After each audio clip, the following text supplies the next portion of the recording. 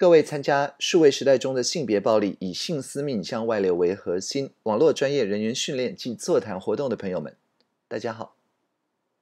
首先，非常高兴获得主办单位的邀请，让我能够用远距预录的方式来参加这个活动。其次，我也想要感谢妇女救援基金会，多年来在 NCII，也就是违反本人意愿散布身体私密影像 （Non-consensual intimate images）。这个议题的耕耘与贡献，复原会不只是协助被害人找寻司法的救济途径，陪伴他们走过人生的困境，更是积极的去改善社会谴责被害人这个风气，以及致力于弥补现行法治环境的不足，包括现行刑法保护法益的缺失，被害人在司法程序里的保障，以及执行的有效性等等。也感谢 G 零 V 社群参与者的协助，NCII 这个议题在 V 台湾平台上，从六月七日到七月二十一日进行了为期一个半月的线上意见征集。网友们达成了两个基本的问题共识：第一，违反本人意愿而散布本人的身体私密影像是犯罪行为；第二，对此行为的处罚主要是为了保护个人的隐私权。不一定和社会风化有关。网友们普遍认为，NCII 不只是道德上面应该被谴责的行为，在法律上更应该受到制裁。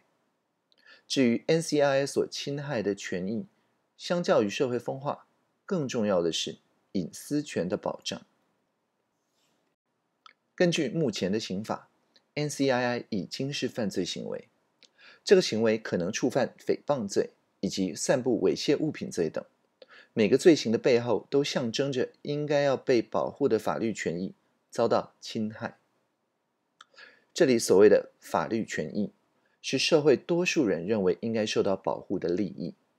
凡是被写入刑法的行为，都表示这个行为侵害了某种法律权益。简单来说，诽谤罪保护的是名誉权。维护每个人的社会地位，散布猥亵物品罪，保护的是社会风化，保护任何人免于受到性的道德感情的侵害。至于隐私权，则是保障每个人的生活的私密领域免于受到他人的侵扰，以及确保个人的资料的自主控制。不过呢，在保障隐私权的部分。目前我们还没有相应的法条来处罚 NCII 这个行为。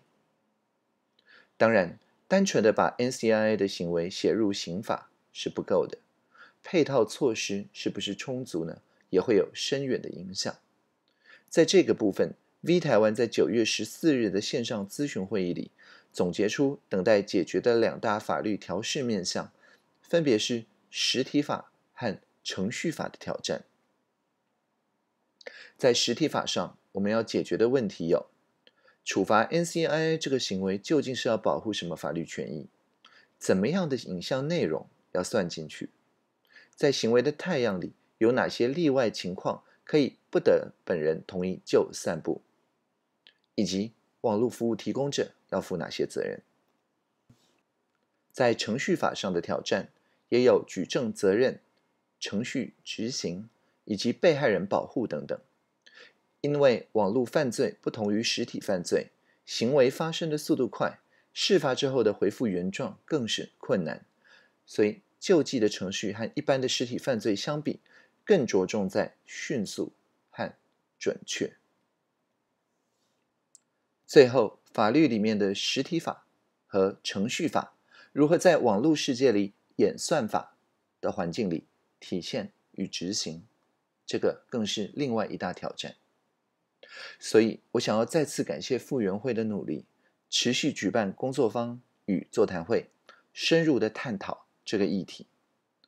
毕竟防范胜于治疗，提升问题的意识，我们才能有效遏制 NCII 的发酵。最后，祝福在场的每一位朋友都能够在网络空间里找到安心的角落，也祝福本次活动圆满顺利。谢谢大家。